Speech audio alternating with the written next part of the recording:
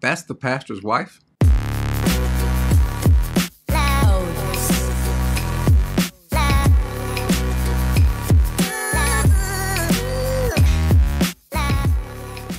We have enough problems with pastors, preachers not adhering to godly standards as it relates to the word.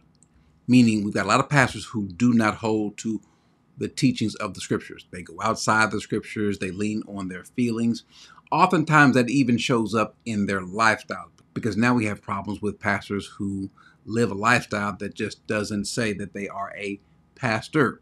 Now, some of you seen this video before that's going around about the the gospel singer slash pastor. I believe he's still a pastor. I'm not sure he is. I know he was. Deitrick Haddon. Deitrick Haddon has had some issues in his life that just doesn't seem to show that he is very interested in being godly or at least having a repentant life uh, from some of the sins that he's had in his lifestyle. Uh, he and his wife, his former wife, and their marital issues, but doesn't seem to be pretty repentant of that.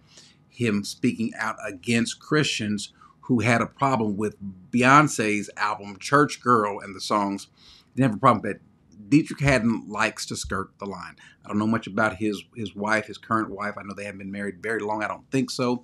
But what we see happening at his 50th birthday party, that just should not happen.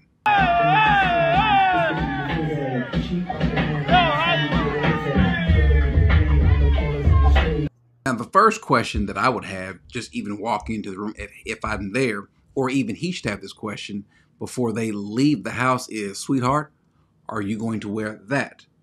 Because the Bible is clear on how a woman ought to dress. In 1 Timothy 2 9, Paul says, Likewise, I want women to adorn themselves proper with proper clothing, modestly, modestly, Deitrick, and discreetly, not with braided hair and gold or pearls or costly garments, but rather by means of good works as is proper for women making a claim to godliness. That's the issue.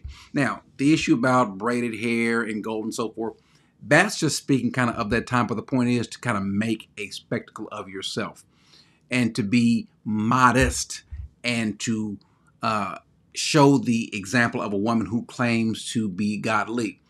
The shirt that you have on with the little broad deal, whatever, I'm not sure what it is. Again, I'm not on women's fashion, but that's not what you would think that you would see on a preacher's wife that's not what you think you would see on any mature man's wife. This is 50th birthday, and so I don't know how old she is.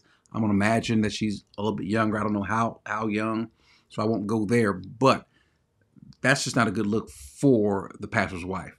Not saying anything about her look. Okay, fine, she's a nice looking woman, but still, you shouldn't show that. As the old saying goes, leave a little something to the imagination, uh, not for us to see and for other men to gawk at. But then getting back to the dancing, the lewdness.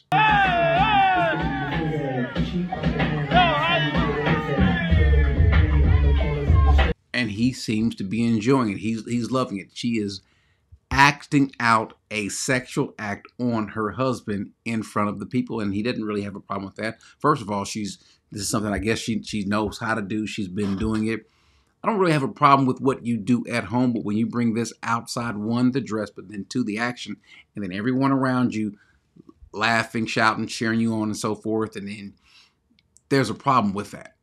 Paul says this about the qualifications of a pastor or preacher. It's a trustworthy saying. This is a trustworthy thing if someone aspires to this. He says the person should be then above reproach the husband of one wife, in other words, not having more than one woman, um, temperate, prudent, respectable, hospitable, able to teach.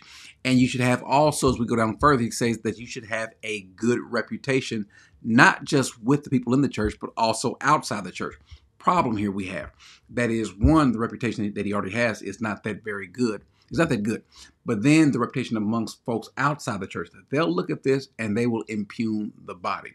And that in lies uh, a huge problem. Therein lies a huge problem. That you should not do anything to bring down any sort of condemnation or um, uh, ill repute or bad look on the church. Paul says this way that whatever we do, we should do it to the glory of God. Whether you eat or drink or dance, do it all to the glory of God. Why?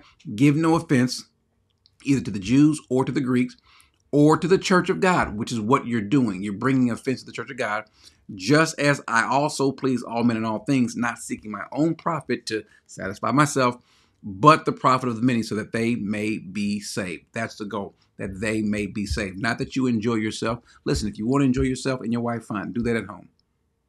But that's not it. And then when you hear the response that he gives, it's just really disheartening. I want them to run their mouth because it's something to talk about. It's something to to have to have a conversation at the table about this because it's time to be free in God and without being in sin. It's time. You go find you a wife that you can grind on you and pray with you oh when, it's, when, when she's done. Don't get no woman wrapped in swaddling clothes. I've been there, done that. I can't do that. So, so it's time. It's time Did because you we- say if we don't wrapped do in it, swaddling clothing? if we don't do it, man, we're gonna lose so many more marriages, man. We got to show them the truth. Man, That's we only love way you, we bro. stop We love bleeding. you, bro. Free in God doesn't mean free to do whatever you want to. It doesn't mean that we have absolute liberty to even look like we're sinning. Remember, the Bible says to avoid the very appearance of sin. That's not what he means by being free in God. Not to go and do what you want to do, and again, to bring a bad name or bad, bad mark against the body. That's what's happening. But what you're doing is you are not only simulating the sex act, but you are giving approval for anyone that has anything else to say that it's okay to do this in public. Uh, the problem with the, the marriage, with marriages in America, isn't that men and women um, aren't just letting themselves go enough. No, matter of fact, that's the that is the problem. They are letting themselves go too much. They are releasing their inmost inhibitions, and no one is saying, "Listen, there is a godly factor that you have to remember to have at all times, whether you're in the house or outside the house." And so, what Deitrick, what Deitrick Haddon is doing is clearly wrong. If it were left to the confines of his home, fine, do what you want to do. But when you bring this out here and you want to hoist your you and your wife's sexuality upon everyone else, that's not a good look. And the only way that you show someone the truth is by the word. Not to go outside the word, not to do what you want to, but do it his way again. Do everything to whose glory, not yours, Deitrick, nor even mine, but to the glory of God. And so this this this just should not be. And rather than defend yourself, come out, be mature, be godly, and say, you know what, that was the wrong thing. We apologize, and we'll do our best not to do this again. But if that's not your heart, then I don't expect to see an apology or anything repentant about that. So, but guys, let's be clear.